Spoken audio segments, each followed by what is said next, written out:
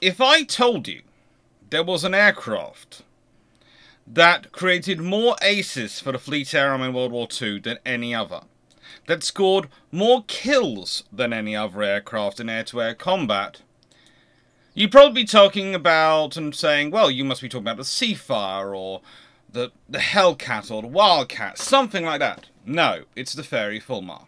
It's the aircraft which everyone loves to ship on. And honestly, there is some reasoning. Uh, to use the words of Eric Winkle Brown, perhaps the Fulmar lacked the glamour that attached to, to the single seat fighters of the day, innate soundness and competence not being the stuff of headlines to set the public's adrenaline flowing. There is few aircraft which have been known as interim aircraft which have achieved as much as the Fulmar.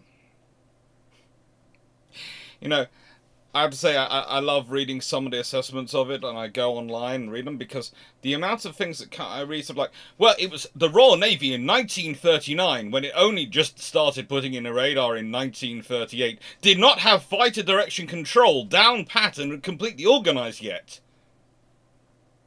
I'm so surprised. And oh, they're using the Fulmar when they, uh, you know, which is not a good aircraft. Well, the Royal Navy have been ordering a better aircraft. They've been ordering stuff for Doctrine. The, the reality was they didn't get it. So, the Fairey Fulmar was what they had. It was supposed to be interim until the Firefly came in. That was the planned aircraft as a scout fighter. It was an interim which was pulled in because, well, the Royal Navy was severely worried that its single seat fighter was going to get shut down, and guess what? That does get shut down very quickly and into World War II. The Royal Navy single seat fighter gets shut down. Why? Because it's using Supermarine, and the Air Ministry goes, no, we need them to focus on the Spitfire. They can't do anything for the Navy. Navy goes, what about the Walrus? Oh, we don't care about that. But they can't do any fighters. They can only do one fighter. Supermarine can only concentrate on the Spitfire. That's how important it is, in our view. And considering the way the Air Ministry had treated single-seat fighters prior to World War II, honestly, you can understand their panic. It's not very good for the Navy. So that then turns the Fairey Fulmar from being the interim scenario of uh, the Skua is a very good dive bomber, but surprise, surprise, something which was uh, procured as a dive bomber primary, but under the cover of a fighter to get it through the Air Ministry, is not a good fighter. So shocking, I never saw that one coming. The Roc, which was a turreted version of the Skua, based on the seven principles of the Boulton Paul Defiant, that turreted fighters were going to be absolutely better than regular fighters because the maneuverability of their firepower um, yeah, that didn't work for the Boulton Paul fight. It didn't work for the Roc, which was even worse. And that, that's saying something because I the Boulton Paul fight at least looks cute. The Roc just looks like Richard of York is imagined in Shakespearean plays. Is all I will say. So there are some real problems going on there, but the Fairey Fulmar is not one. Please note, she was also originally procured, the program she's procured under was going to be a dive bomber. That's what she was procured for. But that was an Air Ministry thing. And then the Fairey have this aircraft, and the Air Ministry are taking no notice of Fairey. They don't care about them at all at this point. So Fairey are going, well, we can produce something. And the Royal Navy jumps on it. And this is the aircraft which the Royal Navy takes a lot of its pre-war thinking, a lot of its pre-war doctrine, and tests it. And unsurprisingly, as is the reality for most forces in history, about 50% of the Royal Navy's pre-war doctrine proves absolutely terrible and wrong. It was based on false positives of exercises. Um, good example, using fleet carriers for anti-submarine warfare, because you don't have anything else. Yes, aircraft are a viable thing, but a fleet carrier is a bit much to risk in it, and aircraft, and you need enough escorts, and submarines can actually maneuver out of your hunt out of the hunting area to go hunt uh, go hunt the the carrier. That cost the Royal Navy HMS Courageous. There is also times where the Royal Navy's officers actually ignore their own doctrine. HMS Glorious is a good example of this. She is not supposed to be travelling on her own. Even peacetime doctrine had it would have given her more. Even peacetime practice would have given Glorious a light cruiser and half a flotilla of destroyers at least wandering along with her on her route. You look at when they're moving these ships around, that's usually what they have around them. For much of the 1930s, they have a light cruiser, sometimes it's an Arethusa class, sometimes it's a Town, sometimes it's a Leander, sometimes it's an E-class. They have half a flotilla of destroyers. At the minimum, usually. That's a very different scenario than Glorious finds itself in. And then we look at air defense. Well, the Royal Navy had been preparing an idea around air defense, and there's a whole discussion about whether fleet air, uh, whether a, a, carrier aircraft were ever going to be as capable as sea as land-based aircraft. There's a whole debate about that. Fleet Air Arm really didn't care. And remember, again, the Royal Navy gets control of procurement. Starts the Inskip Award is made in 1937. Full control procurement is only transferred to the Royal Navy in 1939. Then World War II breaks out, and the Air Ministry goes, all, we control all air procurement again. If it's done in the UK, it has to be done for us. We're managing all the air, all the all the factories, all the organisations, and that makes sense. I do understand you need someone under that scenario to be the clearinghouse. But again, they prioritise what the Royal Air Force needs, because the Air Ministry, the Royal Air Force, is their service. So that's one of the reasons why the Na Royal Navy is the first to go hunting in America for aircraft. Because if they can't get what they want when they need it from British factories, they're going to have to buy it elsewhere. And let's be honest, that's not not the first time the Royal Navy's done that as far as aircraft were concerned. They had form for doing this. So the Royal Navy enters war. It has some doctrines, some prove successful, some don't. I, I, I have to say, I will re, emphasize this point now, but you'll be seeing in certain points. Reading through some books, some of the websites about this, when I was deciding to put together the video on the Fairey Fulmar, actually really annoyed me. Because they hold the Royal Navy to a standard which you would never hold any other force to. And what I found funny was on one website, I read an article about the Royal Navy, which apparently in 1940 should have had a codified air defense doctrine which was 100% successful in fighter direction, fighter control, and the exact aircraft they needed. And then the next point is talking about American air defense development in 1941 42 and how this shows how the US Navy's learning from experience. And I was going, well, hold them to the same standard here. I agree the US Navy's learning from experience. You could argue, actually, you could be harsher on them because you could say they should have been watching what the Royal Navy was getting up to, and their advisors were the Royal Navy. Well, advisors sort of, they, they had people watching the Royal Navy doing Taranto and all those sorts of things. But you can't say they don't have that as their own practical experience, so you can't hold them to learn the same lessons from practical experience. It's very different watching other people to doing it yourself and then you have to give that to the Royal Navy as well, who are implementing new technologies at the same time. Because that's the problem. Everyone was planning on war coming in about 1942 onwards, probably 1945. And so everyone thought they had time and were still implementing some of the new technologies which were coming off the development line. So, Fairey Fulmar.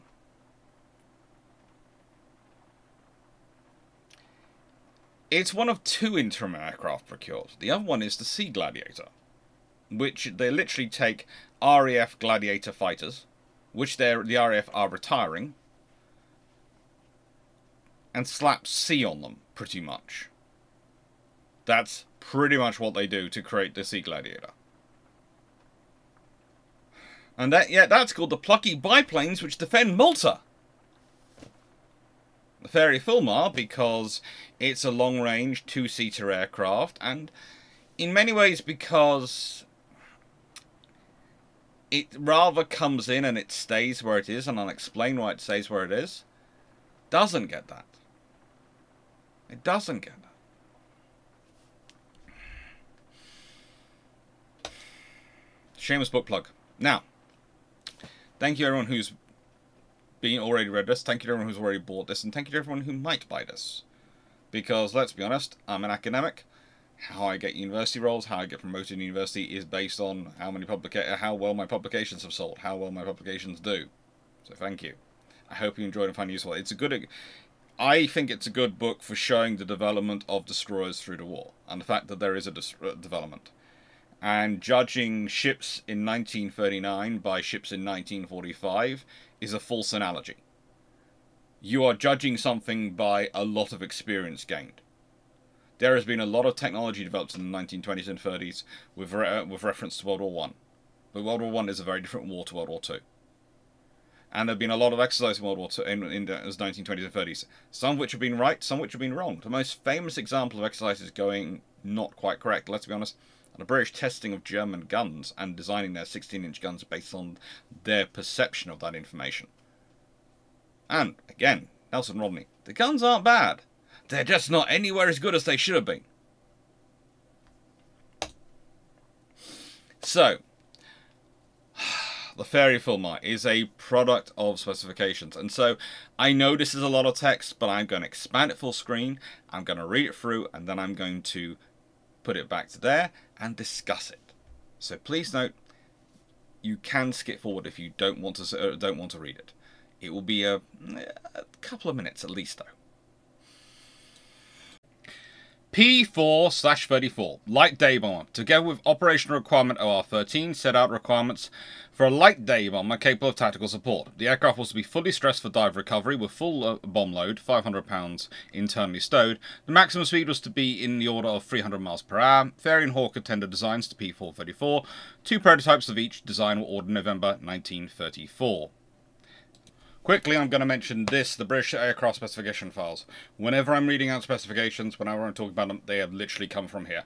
Okay, so this is where I get them from. This is the closest thing you can find to the Encyclopedia of British Aircraft Specifications, because literally that is what this book is, all entirely. You can still find copies to buy. It was published by Air Britain Publication, and it's written, it's compiled by K.J. Meekums and E.B. Morgan. It's a very, very cool book, and if you want to follow the development of aircraft, it's a really great place to chart it. And it's also useful because it kind of turns on its head a lot of the ideas of these aircraft just appear in time of war or these aircraft just appear here. Good example of this is I'm talking about the Fairey Fulmar, which I'm going to get into is a 1938 procurement, interim procurement, which the Royal Navy's doing because even before the war they've realised the Skua and Roc are not really up to the task they don't know when they're going to get a single seat fighter. It's supposed to be coming in in 1940, but that's for a different role. That's not long range escort fighter. That's not an escort role, escort role aircraft. And so that's some of the reality you have to deal with. You know, you, the, the Royal Navy are already doing this before war begins. I know the mantra is these aircraft suddenly appear for war. The reality is different. It really is. 0838 Requirements. In response to Operation Requirement OR56, an interim two-seater front gunfighter is required for quick production for the Fleet Air Arm, capable of operating from catapult ships and from the deck of a carrier. The first aircraft are required for delivery in September 1939. And in order to facilitate design and production, certain concessions on normal requirements for Fleet Air Arm aircraft have been made.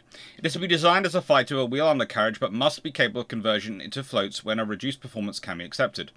The all-up weight is not exceeded is not exceeded 8,750 pounds as a ship plane. As a float plane, the aircraft will not normally operate at an all-up weight exceeding 9,000 pounds. As a ship plane and as a float plane, it is to be designed and equipped for resting, accelerating, and catapulting. It is to be capable of folding quickly while on the deck of a carrier or on a catapult in wind speeds of up to 30 knots, and is to be capable of being hoisted when folded. The following dimensions shall not be exceeded. Height, 14 foot 9 inches. Length 40 foot or 44 foot as a float plane. Span 46 foot spread. 18 foot folded. It is required for air fighting, mainly in the vicinity of the fleet and shallow dive bombing. Performance. The maximum speed is to uh, be not less than 230 knots for an operational height of 10,000 foot. The highest of maneuverability at the speed is required. The stalling speed is not exceed 56 knots, with the engine off at full load. Takeoff is to be possible in distance of 225 foot against 20 knot wind speed. The aircraft is to be capable of operating for 6 hours at operational height not less than 120 knots, plus 15 minutes of maximum power at sea level, or at least 2.75 hours at maximum economical cruising speed at 10,000 foot, at plus 15 minutes at maximum power at sea level. The aircraft shall be fully equipped for night flying. The instrument board is to be arranged to be to take the standard flying instrument panel and with operation by an engine-driven suction pump. If the undercarriage is made to retract, precautions shall be taken to ensure that there is no change in the compass deviation with the undercarriage in the up or down position. Engine. A Merlin H moderately supercharged engine is to be fitted. The Graviner or other approved type of extinguisher shall also be fitted. Crew, pilot and observer. Armament, Browning guns, that's .303s, with 4,000 rounds of ammunition. Signals, TR9 R1110. Radios, Based on the P34, uh, P434 design, the first production Fulmar N1854 made its initial flight on the 4th of January 1940, and along with N1855 and N1858, went to A and AE and to HMS Illustrious for trials. The aircraft was later converted to a Mark II powered by Merlin 30. In all, some 250 Fulmar 1s were built, but none as float planes. For those who don't know, the A and AEE is the stands for Airplane and Armament Experimental Establishment, which was well, it had been established in 1918 and basically stood at Martlesham Heath, Suffolk, but in 1939 it moved to Boscombe Down in Wiltshire, and still goes today as part of the QinetiQ Company. So what we're we looking at? Well, for starters, this is an aircraft which is supposed to be full service for the Royal Navy. Yes, it's going to have a carrier role, but it's also supposed to have a cruiser role and perhaps even a capital ship role as a reconnaissance aircraft. It's a long-range fighter for escorting strikes, but also for reconnaissance. All Royal Navy aircraft are, to an extent, procured with reconnaissance in mind because for the Royal Navy the biggest most important part of the aviation battle is always reconnaissance it's always finding the enemy first and then being able to track them and time your attacks on them. Remember, the Royal Navy likes to do night strikes. So, having accurate information about where your enemy is really matters, which means you need every aircraft. Like in the US, US uh, Marine Corps, you say every Marine is a rifleman. The Royal Navy needed every aircraft to be a reconnaissance aircraft. They needed to get that sweet, sweet information. That was what they wanted. Now, also, please note there's a term there which some of you might not be familiar with. It says acceleration. As well as they have to be able to be accelerated, catapulted, and also arrested. Now, the Royal Navy differentiated between the systems which operated from carriers and the systems which operated from ships. They required different methodologies of, of holding onto the aircraft. So they didn't pretend that they were the same thing. If you were normal, if you were being fired from a ship, you were being catapulted. If you were being fired from an aircraft carrier, you were being accelerated. It was different hard points, it was different ways of configuring the aircraft. It's different for the aircraft. So whilst it might do the same job, it might even use a similar mechanism. Some of them did. Some of them did uh, use actually slightly different mechanisms it's a different thing. So the Royal Navy, to differentiate, calls one accelerate, uh, acceleration, one ca catapulting. And arresting is when you've got the wires across the deck and they come in, land, hook connects, and they go, ah, I can't go anywhere further. But pretty much, everything is designed to make its operation from a carrier as smooth as possible. A stall speed of 56 knots, that's sweet. That's great for a carrier. That allows a carrier if it's going full speed into the wind, the stall speed for the aircraft, it can pretty much glide in. It doesn't matter if its engine's not working, it can glide in over that deck and stay airborne and touch down. It's great for recovery of aircraft which are damaged. If we get into all of this, all of this, it's about the Royal Navy getting an aircraft which is, most importantly, interim it is an interim procurement. It is called a in response to operational requirements, an interim. So it's operational requirements, i.e. the aircraft we've got are not all the aircraft we wanted, And the ones we have got can't do the air defense role. We should probably prioritise the fighter over the dive bomber, but the Royal Navy have been arguing for a dive bomber for so long, they frankly, they were prioritising the dive bomber because they finally got to be able to prioritise that. This is one of the first requirements which goes through when the Royal Navy has sort of control because I said between 1937 and 1939 there's a transition of control. The award is made by Thomas Inskip's report in 1937 Fleet Air Arm should no longer be part of the Royal Air Force. Should it should be allowed to be part of the Royal Navy.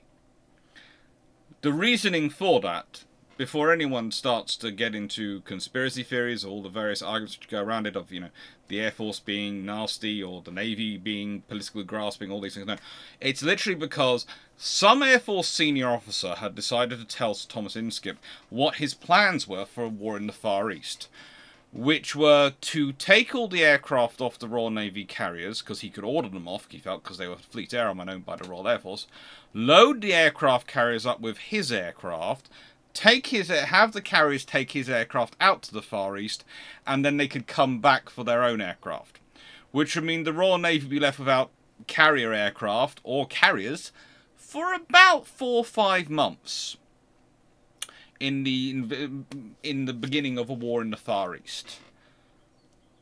Especially when you consider quite a lot of those carriers would have to have the aircraft craned aboard because the aircraft weren't designed to land on carriers in the first place. Um, this was not really a widespread idea. It really wasn't. But there were enough people with this view, and enough people putting forward that as an idea, that Inskip decided that, frankly, the Air Ministry should not have anything to do with aircraft carriers.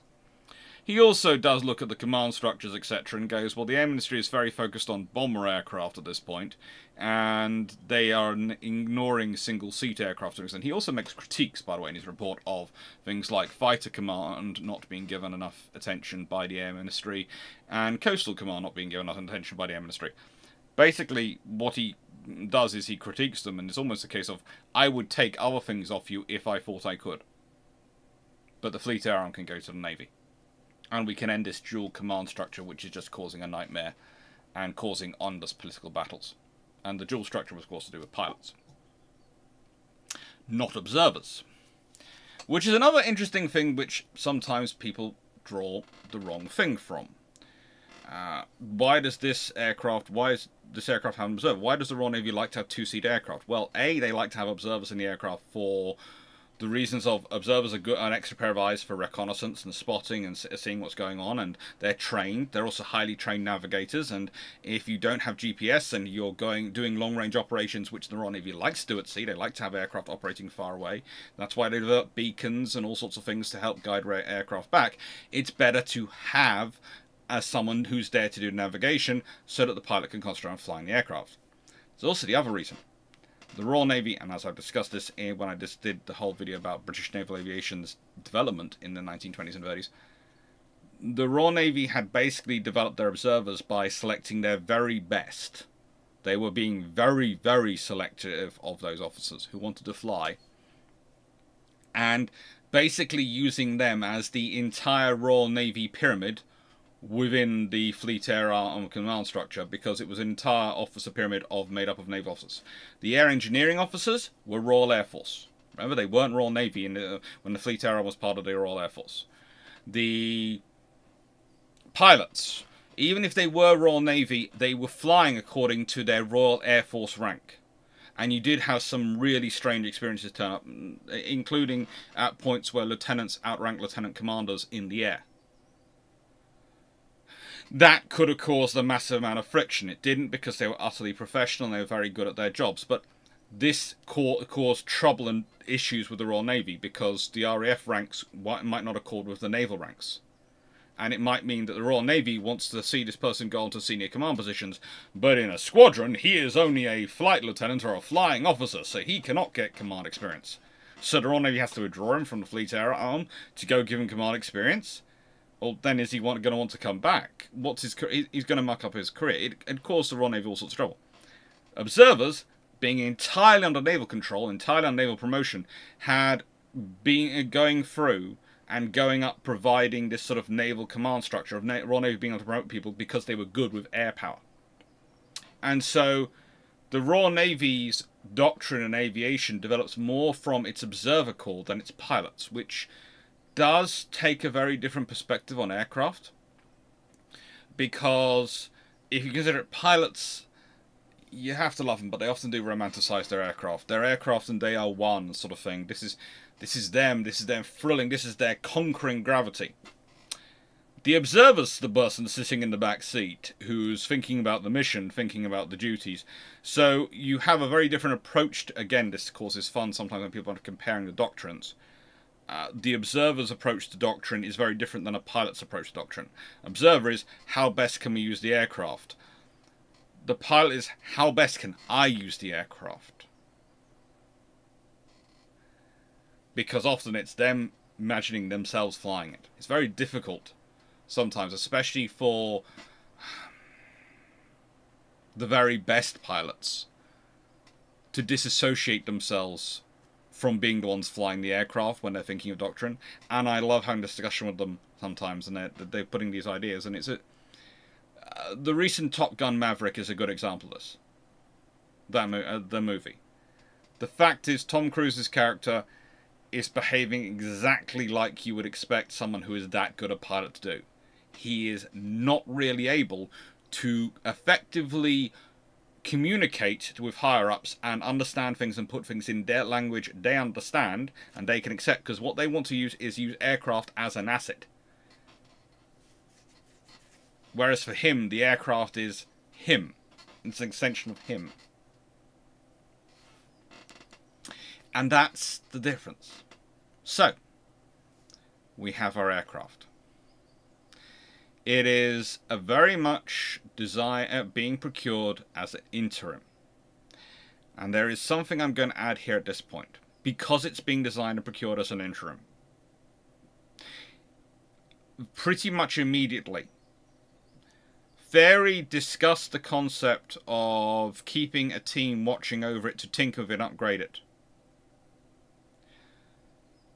But the Air Ministry says, "Oh no, no, you can't do that. You have to concentrate on the uh, on these other programs." And that includes, of course, the Fairey Firefly, but it means that the small team which had been going to assigned to provide upgrades and maybe produced the idea for a Mark III or a Mark IV go away.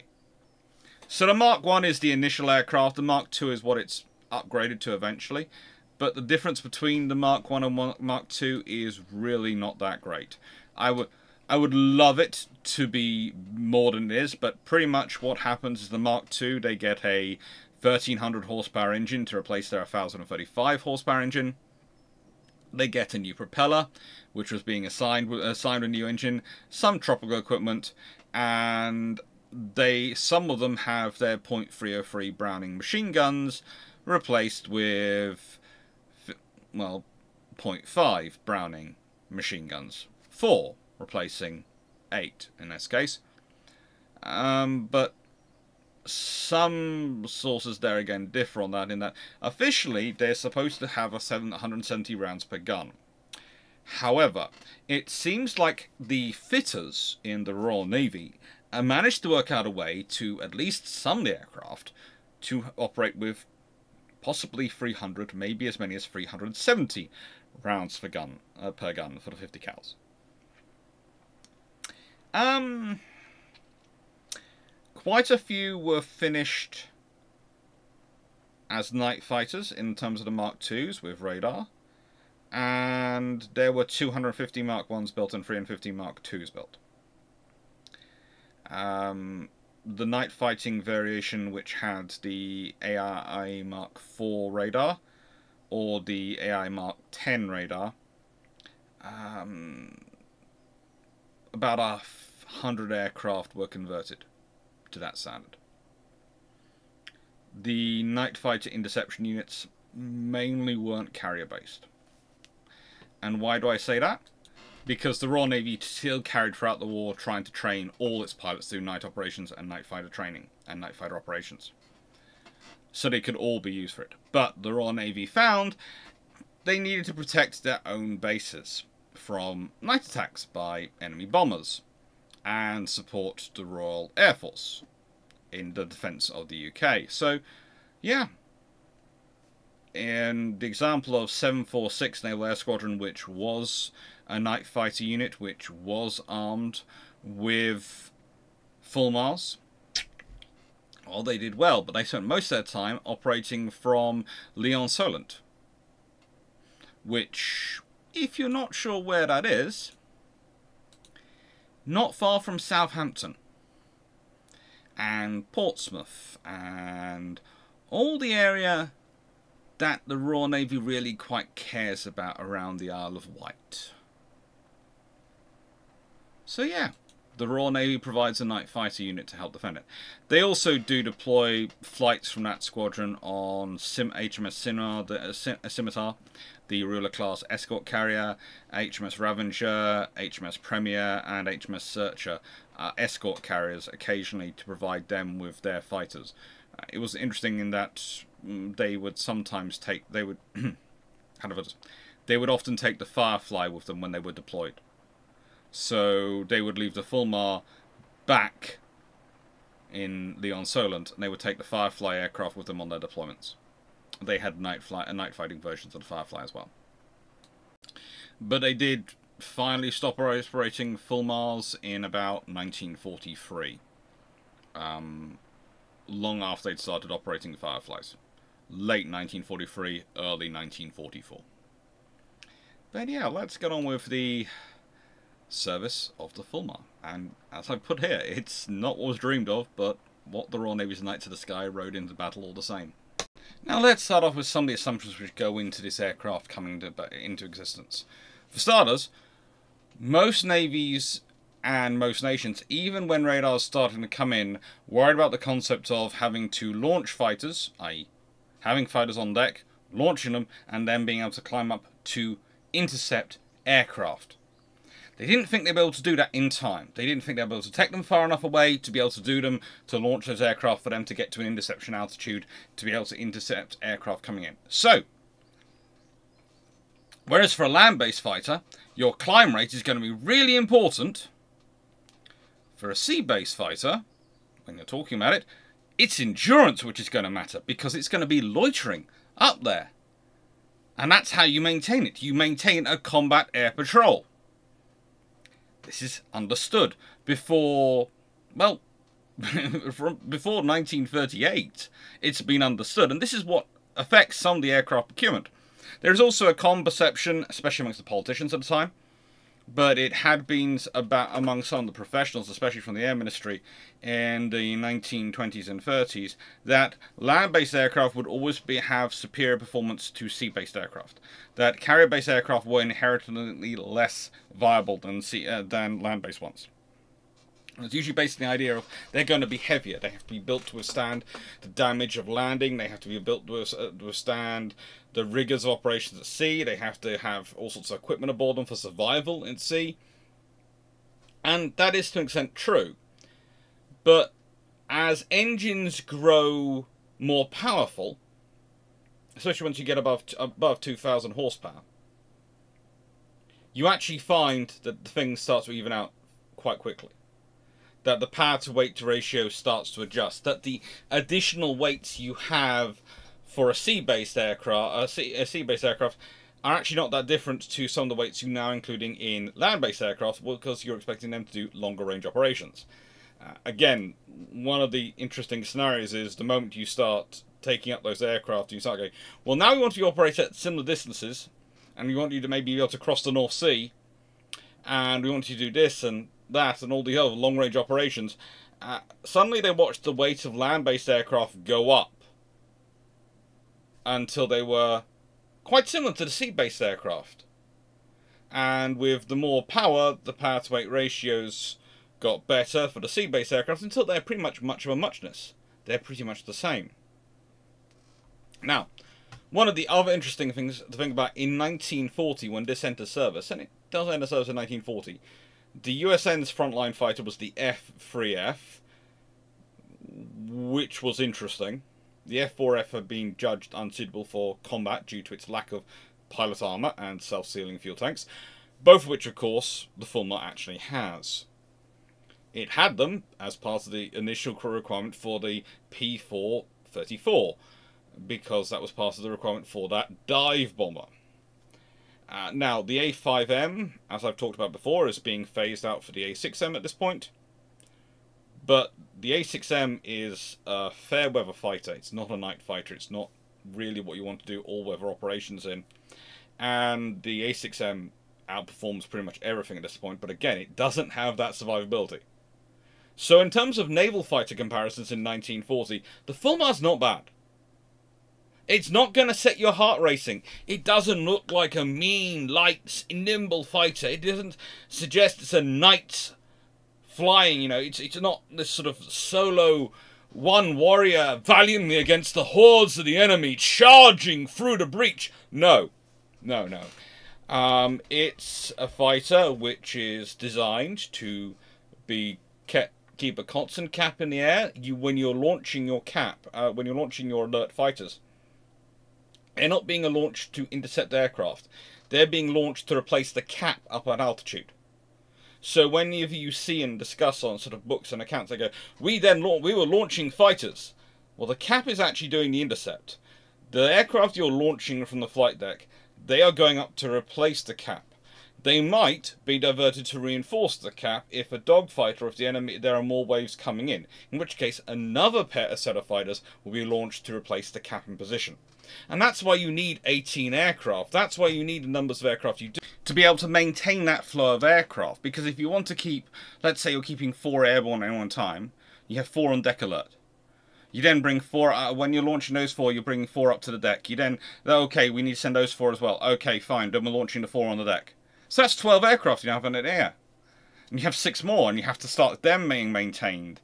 And okay, you want to bring up four more onto the deck, and oh, now you're down to two aircraft spare airframes. So the moment those aircraft come back, the surviving aircraft, and hopefully you haven't lost any, let's say from the actual intercept operations, and most of the times, because of the speed of the operation, because the enemy come through, attack, and run away. So basically, because of how the operations are supposed to do, go with naval air defense at sea, what fighters are purpose, or, or the fighters' purpose, is to zoom and boom. They are to break up the enemy airstrikes. So yes, if they kill enemy aircraft, great, and this is why it's quite so amazing some do get to the A status. It's great. But their purpose is not really to sit there and dogfight. Their purpose is to break up enemy strike groups, enemy fighter groups, uh, draw off the enemy fighters, draw off the enemy, uh, break up the bombers, break up the squad, uh, break up the wings into flights and manageable sizes. Then the heavy AA breaks them up further into single air maximum pairs of aircraft attacking, and preferably you're dealing, the ships are dealing with single aircraft coming in attack. So you've got the fighters breaking up the wings into flights, and then the flights being broken up by the heavy AA, and the heavy air, uh, then the sort of the medium and the light air engaging the aircraft when they come in. Because if a ship is just dealing with one attacking aircraft, they can concentrate a lot of firepower on it, and they can dodge it most of the time in this time period. That's what they can do. It's when you've got multiple aircraft coming in, you can overload a, a ship's capacity to defend itself. That is the scenario you are trying to avoid. So fighters, in terms of naval terms, are supposed to break up the strikes. The other thing I'd like to point out is, and this is a small point of di difference between me and Jamie Siedel of Armoured Carriers, who has an absolutely exceptional article on his website about the Fulmar, and I have got a link to it below. He would tell you that the interim aircraft is supposed to replace in 1942. It's not. It's supposed to be being phased out in 1941, and at furthest go to 1942. Again, there is always a realization with aircraft in this time period. You could be phasing out aircraft for a year. That's historically actually what happens. It's phased out over 1943 for a year as a night fighter, as I discussed earlier, and there it was starting to be replaced by mainly the Wildcat, or Martlet as it was originally called in Royal Navy Service, in 1942 onwards. But the thing is, it had supposed to be being fair. It had only been supposed to be uh, providing the Royal Navy with this coverage, this capability, in conjunction with a single seat fighter, which was also under development at the time, for two years. 1940 to 1940, uh, through to, uh, through, uh, from the beginning of 1940 to the, through to the end of 1941. And it's ordered, as again, if we go back to specification, in 1938 early in 1938. It's number 8 of the specifications issued in 1938. Number 8 of the specifications issued. So it is only supposed to be an interim aircraft in a period when everyone was hoping there wouldn't be war for at least another four, five years. So if everything had gone to plan, this aircraft would have been a footnote in Royal Navy history. It would have still been a respectable footnote because of its value in developing tactics and doctrine, which would have probably taken place in exercises and other scenarios in a peacetime setting. But in a wartime setting, it's useful. It is useful. Again, this is something I, I started off by talking about how many aces are made flying the Fulmar. That is a reality for the Royal Navy. People like Sir Stanley Orr, who'd actually started World War II flying the Blackburn Roc and Blackburn Skua as part of 806 Naval Air Squadron from Hatston in the Orkney Islands. He then transfers on to when the squadron changes over to Fulmars, and eventually he joins HMS Illustrious in June 1940. He'd taken part in the providing air cover for Operation Dynamo during in the interim time, and he goes on to get 17 air-to-air kills. He claims seven out of 30 aircraft shot down during the period that Illustrious was in the Mediterranean. Seven of the 30 aircraft. He became an ace flying the Fulmar. Now, yes, I will say, they are not exactly having to deal with maybe the best enemy fighters as well. There is the fact that the Italians have too few of their best fighter aircraft, and there aren't really German fighter aircraft at that point, but there are plenty of bombers and there are plenty of targets, and that's their job. When the fighters do turn up, they're still intercepting them. But the fact is, the Fulmar's role is always more than just being a fighter. It's not there just to fight. It's there to find the enemy if they're enemy ships. It's there to spot enemy fleet movements if they're moving, or enemy submarine movements. And it's also there to act as a fighter.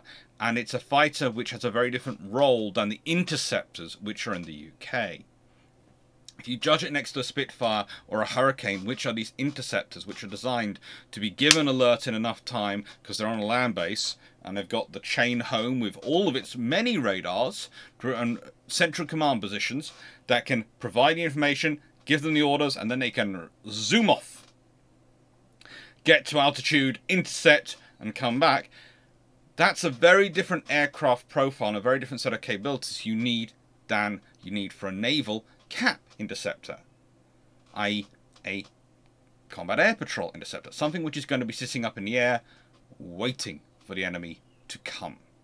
Now, when Illustrious was damaged, Orr and the rest of the remaining of 806 Squadron and their Fulmars went to RAF Hal Far on Malta, and they actually took part actively in the defence of Malta. She did as, they did as well as they could, and then when Malta couldn't be when Malta couldn't repair Illustrious, and she had to be sent to the United States to be fixed, well, 806 Naval Air Squadron and their aircraft transfer across to HMS Formidable. And they provide cover again, using their Fulmars from HMS Formidable. And Orr carries on shooting down aircraft. I said, he gets to 17.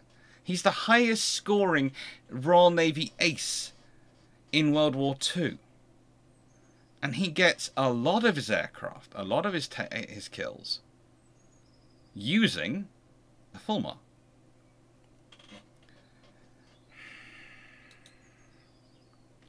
So let's consider the actual vitals of the aircraft. Let's consider what we've been talking about because I've been trying a lot to basically reshape some of the image most people will come to this video with in their mind about a Fulmar because the image is always comparing the Fulmar to those wonderful interceptors, those gorgeous aircraft, and going, it's not like them. Well, it's not. But it's not supposed to be like them because it's not doing the same job as them. And the Royal Navy did want its own interceptor. They were planning on it. That's honestly, if history had worked out as the Royal Navy had planned it, carriers like Ark Royal, which again, if you go to the British Naval Aviation Doctrine and Development video, which I put on this channel, and I'll put a link to up here, I think, probably on the screen. A little card will appear if you haven't seen it yet. To explain quickly what I'm going into, these aircraft would have been on the strike carriers, the air carriers which were going to carry the larger air group but also stay further back. And the single seat fighters would have been the aircraft aboard things like the Illustrious class, the fleet carriers. The ones which were supposed to be closer to the fleet, closer to the action, and more likely to get attacked. There is a reality behind their doctrine. There is a thought process, a, th a thinking going on behind it all. And again, this was the interim aircraft. And really, as the interim aircraft, it does also need to be compared against the aircraft it was it was into cover, the Blackburn Skua. Now, I'm going to do a video about that in the future for the key uh, for key aircraft series. And while I'm talking about the key aircraft series in its future, I'd really love an, an idea how you think it's going, whether you're enjoying it, whether you like the fact that I'm carrying on basically similar approaches I did in the key ship series and any suggestions for aircraft or ships you would really like to be covered in both series, please do put below. If they continue to be happy uh, to make people happy and interested in naval history, I'll be doing key leaders next year. Now, which will of course be people. It's worthwhile noting, before we get into this, we should consider that whilst Stanley is the highest scoring ace of the Fleet Air Arm in World War II, the first ace of the Royal Navy in World War II was, um, and I'm going to get it right, Bill Lucy. I always want to call him Lucy Bill for some reason. Anyway, he got his first five kills flying a Skua over Norway. That's what he got his kills in. So what is the point I'm making by ringing it up and by mentioning that? Well, you can have on stats, you can go, well, this aircraft is going to outperform this other aircraft every single time. And you could be right on paper. But if you've got the right tactics, you have the right control, and you have a good, uh, skilled pilot, and, let's be honest, a little bit of luck on your side, things can change. And it's more often not how you use things than what you have on paper. What you have on paper, if used right, will win against what the other guy has if they have less, and they still use it right. But if you have more on paper but you use it wrong, then the other uh, side has a chance. That's when quality can certainly trump quantity. And that might not be quality of individual systems, but quality of use of those systems. So with that in mind, let's consider the vitals of the Fulmar. Crew, 2, as I've already mentioned. And this is the picture of the Fulmar you can find in the Fleet Air Museum in Yeovilton. It's a very nice museum to go and look around, and it's a very nice aircraft to go and look at. Length, 40 foot, 2 inches. Wingspan, 46 foot, 4 and a quarter inches. Height, 14 foot. Wing area, 342 square foot. Airfoil root, uh, NACA 2418, tip NACA 2409. So that's the shaping and profile of the wing. If you go and look those up, you will see there is a specific wing shaping uh, to do with those designations. Empty weight, 7,015 pounds. A solidly built aircraft. Gross weight, 9,672 pounds. Maximum takeoff weight, 10,200 pounds. Power plant, single Rolls-Royce Merlin 30. V12 liquid cooled engine, piston engine, 1300 horsepower. And by the way, I shouldn't point out these are the stats from a Fulmar Mark II which is the most basic upgrade ever seen. It's basically, this is what we're doing to other aircraft which have this engine fit. We'll just do it to the Fulmar and hope it works. Propellers, three-bladed Rotol constant speed propeller. Maximum speed, 272 miles per hour at 7,250 feet, or that could also be 236 knots.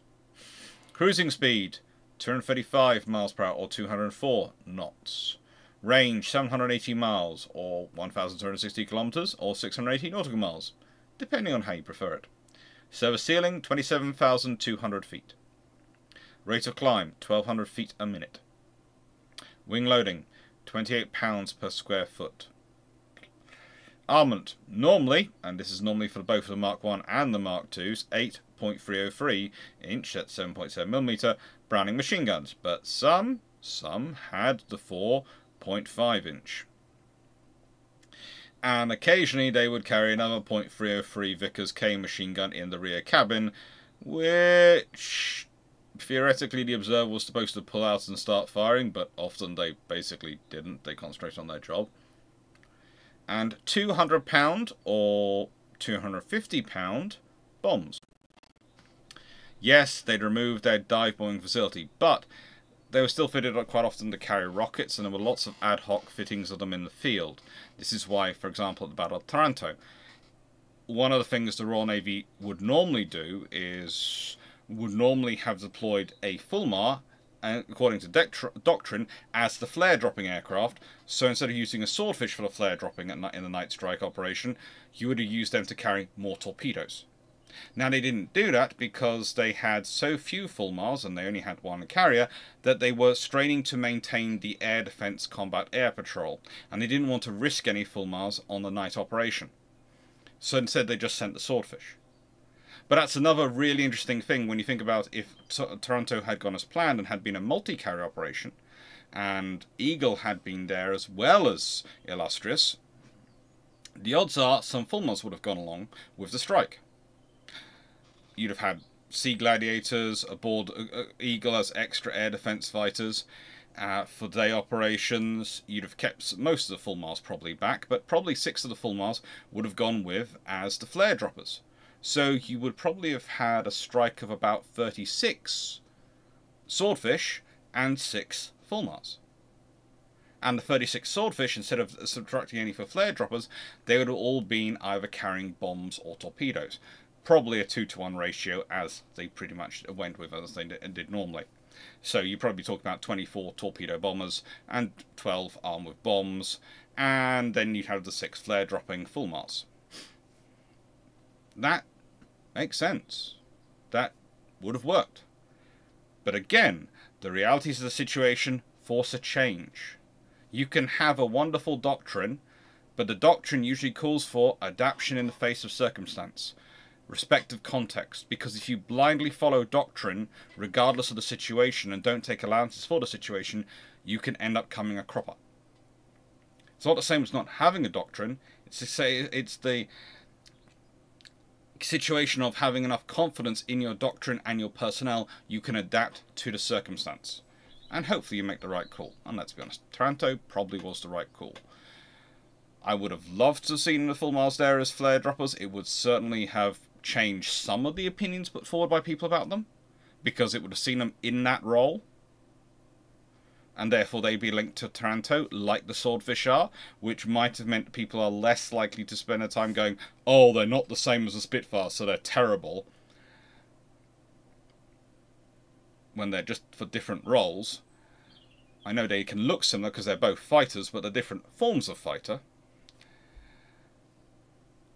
But the reality is, they needed to have the full Fulmars. They needed the full Fulmars were the safety of the fleet because breaking up those strikes as far out as they could of enemy aircraft coming in is what provides you with the security. And it's as spares go down, especially with the effect of the Battle of Britain, and this is the Fulmar's really biggest problem. It uses a Merlin engine, which is a gorgeous engine which gives you a lot of power, and it's really good engine. Yes, I agree. But because the RAF really, really needs it for the Battle of Britain and really, really need all the spares they can get to maintain maximum capability in the Battle of Britain, that means getting spares out for Alexandria, for the Fleet Air Arms, few Fulmars operating out there, is a nightmare. It's the same as it is a nightmare to get those things for the Desert Air Force. All those organisations suffer during the Battle of Britain because of the priority which justifiably needs to be given to the air defence, uh, to the fighters back in the UK it's something which you might not think about before war when you're going into war, but it really was a problem for the Fulmars. And it's another thing which introduced a level of, oh, people going, well, they weren't reliable. Well, they were reliable. But the trouble is, their parts, when they wore out, they didn't have enough spare parts to replace them. They didn't couldn't maintain them to the standard which they wanted to maintain them, and they normally would do. Saying that, though, I would argue their service as understated as to use. To use that quote again from Winkle Brown sound and competent as it was doesn't make headlines. It's the classic scenario. Every time they let something past they get screamed and shouted at. You know, it's ice hockey scenario where, if you've ever seen it,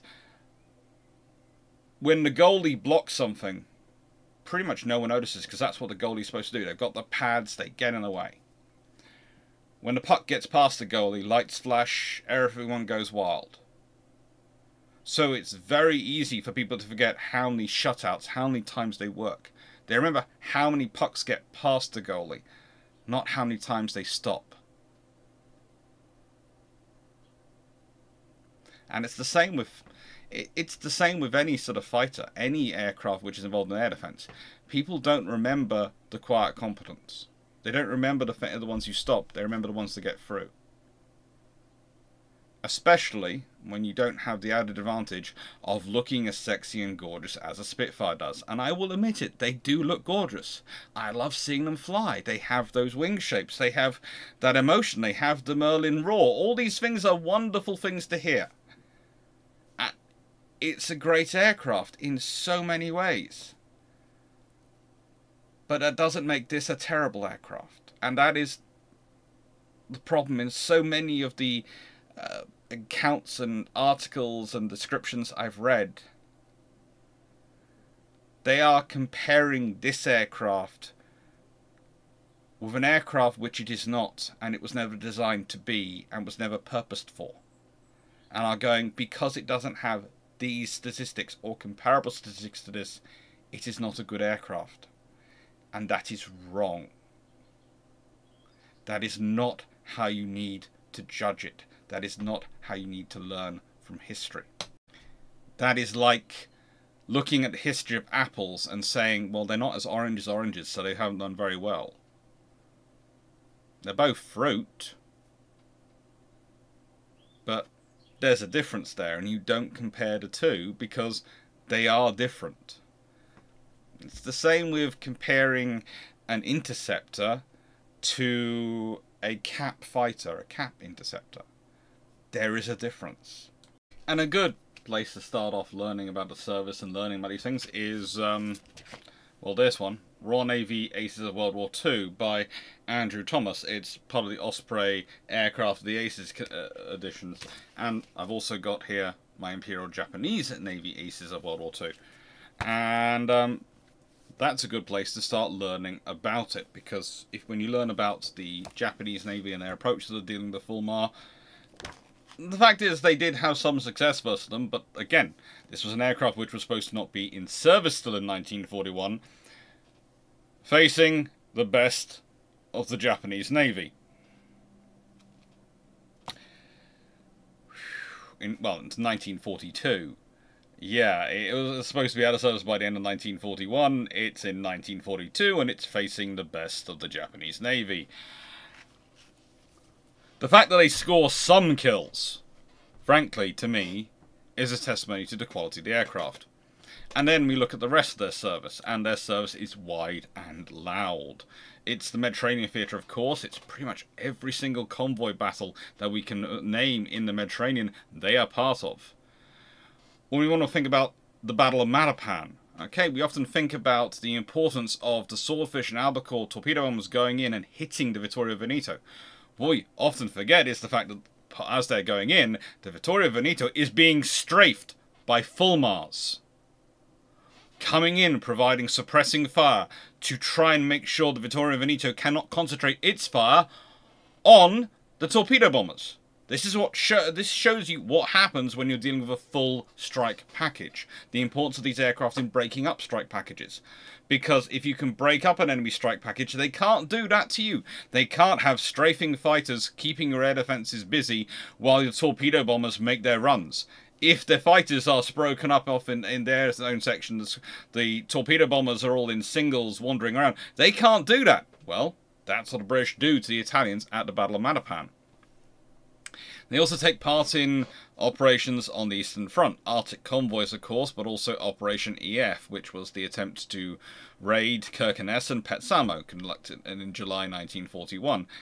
And as said, they were in the theatre. They were dealing, trying to defend Ceylon. They were trying to defend other things against the Japanese attack in 1942 because they were what was available. You had full Fulmars. And the option was send nothing or send a Fulmar. It's better to send a Fulmar. Yes, it won't do as well as it should do. As well as you would like to do. Because it was the interim aircraft ordered in 1938 to come into service end of 1939 and to provide two years of cover until the Firefly was available, and in conjunction with a single seat fighter which was supposed to come in at the same time.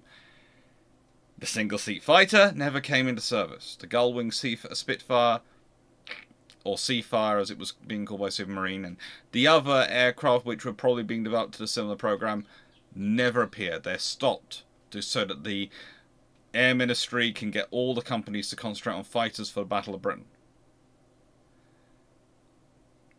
So that never comes into service.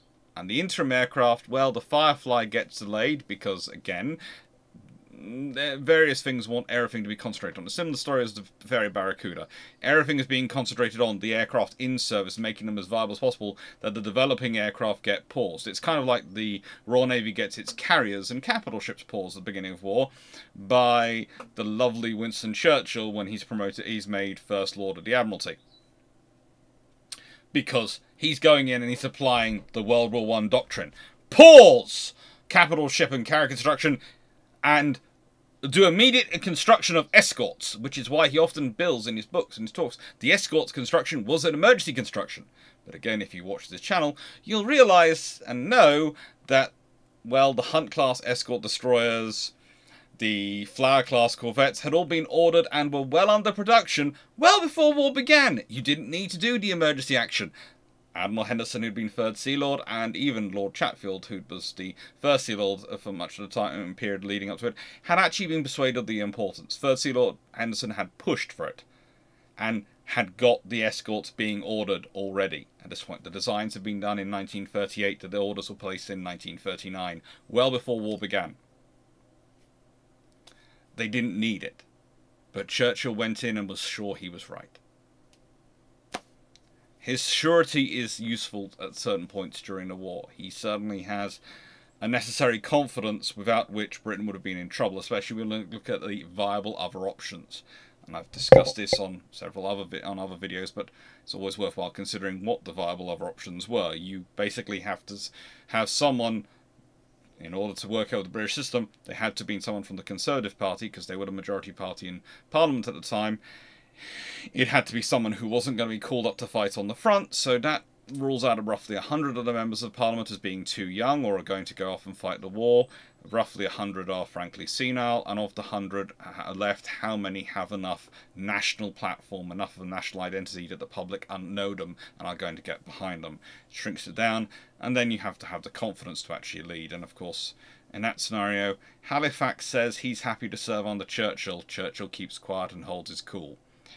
That's how he wins that one and takes over from Chamberlain.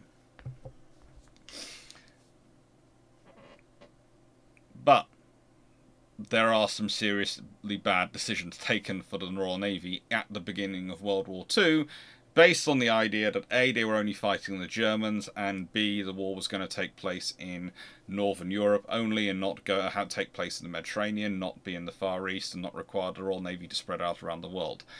And the trouble is, you take that decision, you stop things for a short amount of time, and then you restart them. It takes months to restart momentum once you've stopped momentum.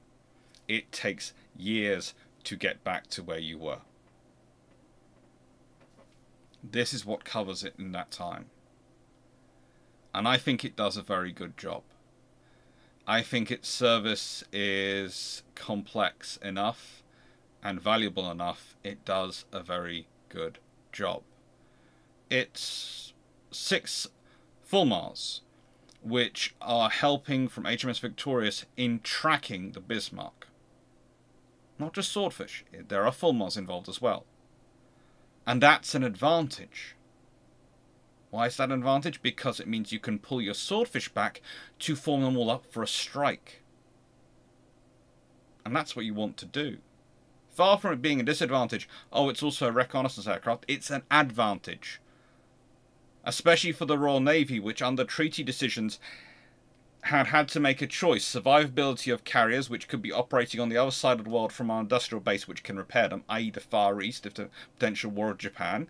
And again uh, if you look up videos on this channel there are things about Tsingtao and the fact in January 1939 the Royal Navy is pointing guns at the Japanese and the Japanese are pointing guns back at them that's a real conflict the Royal Navy's got to consider when it's designing its carriers. And under treaty limitations, it's allowed a maximum displacement. And that's affected its designs, especially the maximum cumulative displacement. So Ark Royal and the first three of the class are ordered and designed under the overbearance of the Royal Navy having a maximum of 135,000 tons to get all the aircraft carriers they need. Let's put that in realistic qualities they had a cumulative tonnage allowance which was less than the Royal Navy's two current aircraft carriers displace.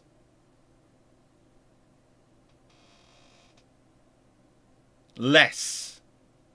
They were allowed a cumulative total tonnage of all their aircraft carriers which would have been less than what our two current aircraft carriers, the HMS Queen Elizabeth and Prince of Wales, displace. That's in 2024. If you're watching this video in 2054, I don't know what aircraft carriers the Royal Navy has, if they have them. I hope they still do. I think they're quite cool ships. But, hello. Uh, the reality is, therefore, they had had to make a choice between air group size or ship survivability and the ability to provide that air group might, might be a smaller air group, but be able to still operate that air group on D2, D3, D4, D5. And how quickly they could repair that ship in what kind of facilities. Because if you design a ship to minimize the damage it takes, it's going to be easier and quicker to repair in forward positions. Because again, for Britain, a war in the Far East means the ship has to sail all the way back to the UK to get major repairs and then sail all the way back in to be used. Let's be honest, the Americans, when they're looking at their fleet, are talking about crossing the Pacific, which is a fairly long distance. However, compared to going down round Singapore, across the Indian Ocean, up through the Suez Canal, along the Mediterranean, and back to the UK as the shortest route you can viably do, with British infrastructure along to support it if it needs it help,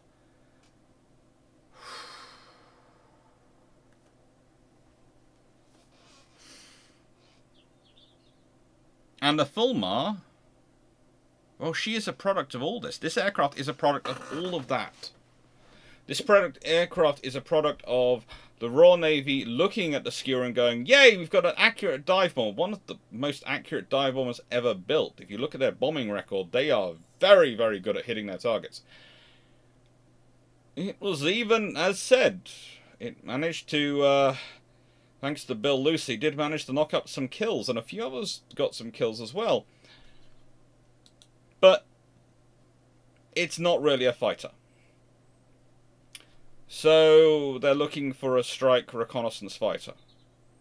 And they need an interim one, because they've planned on the Firefly, but the Firefly is not going to come anytime soon. It requires development time. It requires work. So what aircraft are around that can sort of fit the role? Well, this thing by Fairey can. Fairey put it forward. Fairey go, look, we build other things for you. We've got this. We think it works.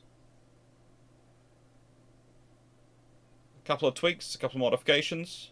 They go with it. And it was ordered in peacetime. It was supposed to be in service. It was hoped peacetime. They were hoping war wouldn't come that soon. And it not only stayed in service a year longer than it was really supposed to in frontline service.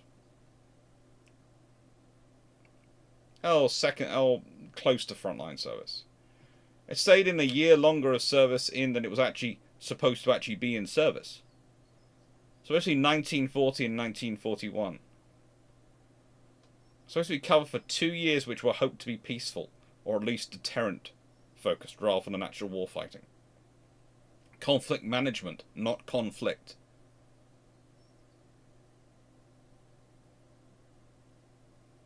And then when it does get into service, and uh, when it does find itself in a war, it does a good job. We talk about the damage Illustrious receives. We talk about the damage Formidable gets from Crete and all these operations. We forget about the sheer quantity of operations those ships did and they didn't get damaged. We forget about the sheer number of battles of operations of the Mediterranean fleet which took place where every single strike that came in, it didn't matter whether it was 10 aircraft, 100 aircraft, 300 aircraft, were broken up by these. They broke up those strikes. They made them down into manageable chunks and then the heavy AA mounted and chunked them up a bit more. Until they were in bite-sized pieces, and at that point the medium AA, the light AA, engages the individual aircraft. And that works. It's not pretty. It's not 100%. There are going to be leakers. There are going to be enemy that get lucky and get a hit through. You're going to lose aircraft, you're going to lose ships, but it's war.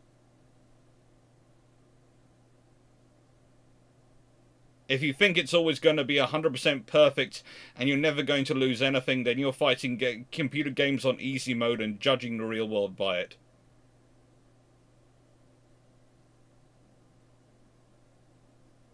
The Fulmar is not a great aircraft. But it did a great job. It's not a gorgeous aircraft, but it kept its pilots alive and flying and fighting. It's not an aircraft you're going to sing songs of praise about. You're really not. But its loyalty, its quiet capability, they are going to inspire songs. 809 Squadron had a song for the Fulmar called Any Old Iron. Any old iron, any old iron, any, any, any old iron. Talk about a treat, chasing around the fleet. Any old tie or hun you meet. Weighs six ton, no rear gun, damn all to rely on. You know what you can do with your Fulmar 2? Old iron, old iron.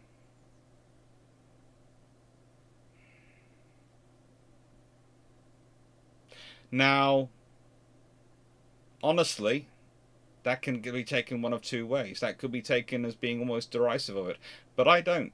You see, the reason I don't take it as being derisive about it is because if you really don't like something in the Royal Navy, you would never compose a song about it. Nothing would ever come up about it, even in mirth. It would just be hated. But this aircraft, it was a quiet competence and it did its job.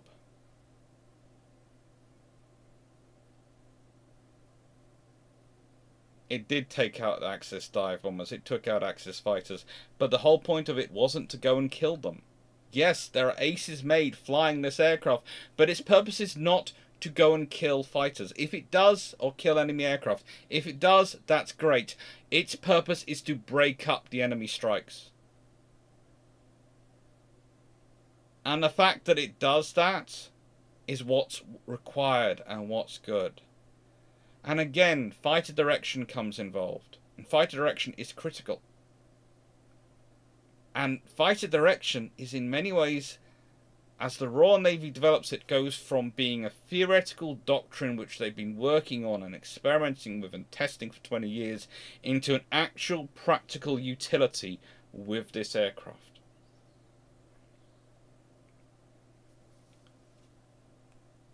They go from having carriers, which were being planned, designed, and built before they even had the concept, realistically, of what fighter direction was going to require to modifying those same ships and building the next generations with actual fighter director rooms, actual control rooms. The forerunners of the modern operations and information centers you have on aircraft carriers and other ships these days that run fleet operations. And that's all being developed as the war goes on. They're learning what works, they're not learning what doesn't. They're trying stuff, and sometimes it works and sometimes it fails. The trouble is, when it fails, it fails spectacularly. And when it works, well, of course it was supposed to work. That's what you're there for.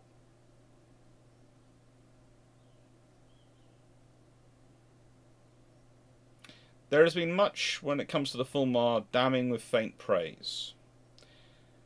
I would say the biggest trouble for the Fulmar is that many of the people who have evaluated it haven't really looked at the doctrine and the reality of what it was required to do. And they tend to forget the whole fact that it was an interim aircraft and it wasn't being improved. It's not turned into the Firefly. The Firefly is a completely different development strand. It's not turned into this or that.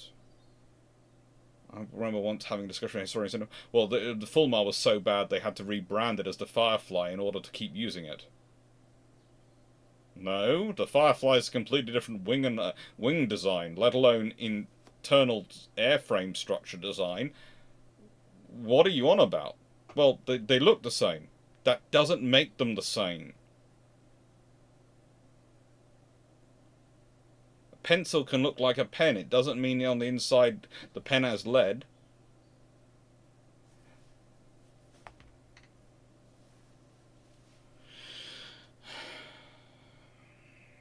Anyway, so I finish these videos with a question usually, and that question is not so much homework as one person recently commented, they they, they sent me a whole a whole um, long message on Discord with "I've done my homework," and I was going, "It's not what the questions are about. They're hopefully to help you go and give you a chance to think further about what was discussed in the video."